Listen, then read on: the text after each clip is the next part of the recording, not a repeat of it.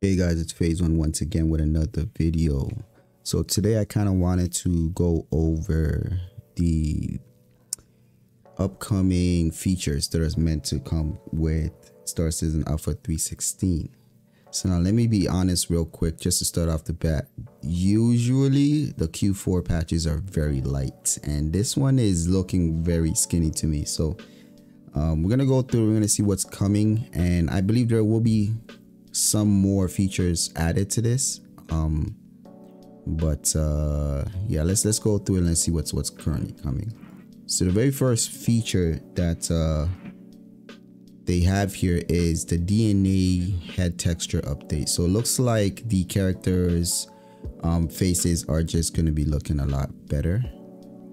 Um so it says implementing art updates for dna archetype heads that will improve the quality of all DNA heads, both player and common NPC. So that's that's uh that's nice. I would um, I'm interested to see how they're going to improve upon this. So um, right now it says tentative, but I believe that should also make it into that patch. Um, so two two locations were added. Um, Area 18 Hospital.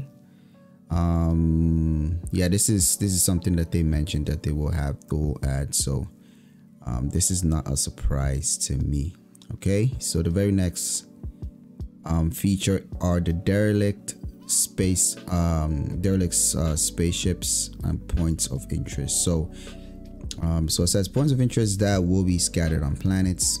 They will be derelict space spaceships with some type of activity puzzle traversal and some type of reward for resolving said activity. That is awesome. This is one of the exciting things I'm really I'm looking forward to in 316 as we will now have reasons to actually go out and explore and have reasons to to open that final loot box in in some of the uh, more hidden crevices or more dangerous areas of these derelict space stations. So I'm curious to see what, what kind of cool, interesting loot we can find in there.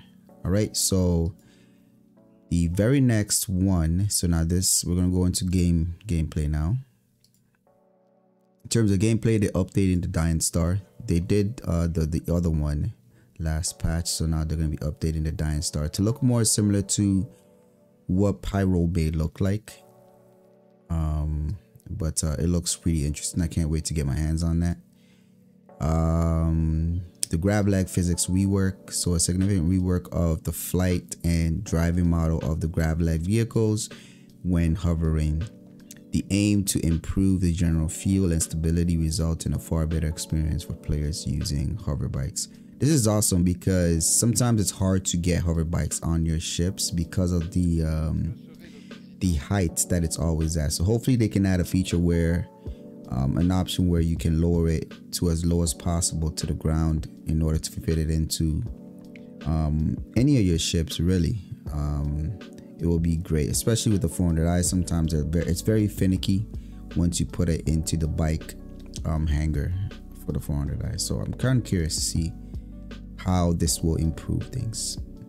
All right Jumptown 2 this is also another big one. So this is going to be awesome. This is going to really encourage some serious PvP. It looks like the whole area is going to be updated, so it's going to be really great for on foot combat, infantry combat. And what's going to happen is, so let's let's just quickly read it. Says implementation of the Jumptown 2.0, a new dynamic event in the persistent universe, inspired by a historic event of Jumptown. This new event featured both lawful and unlawful mission paths. Awesome. Okay, so there's lawful and unlawful. I thought it was just a free for all, straight up, just like that.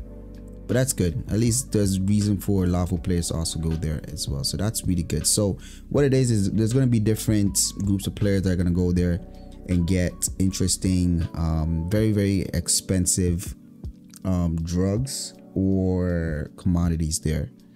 I would say, and um, it's going to be a set amount and the players whoever gets there first can take it and go. Um so what's what that's going to insight what's that's going to create is a dynamic event in such where players are going to be fighting over this limited commodities. And uh it's going to be interesting. So we're gonna i'm gonna i'm sure we're gonna see hammerheads dominating the area. And we're gonna see a2s we're gonna see stealth fighters. We're gonna see heavy fighters, light fighters. It's gonna be we're gonna see on foot combat between teams of people, and it's gonna be very interesting. So I'm curious to see how this is gonna pan out. I'm very excited about this one.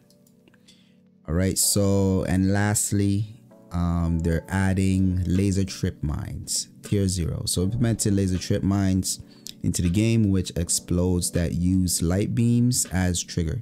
When someone or something comes into contact with the beam, the mines go boom.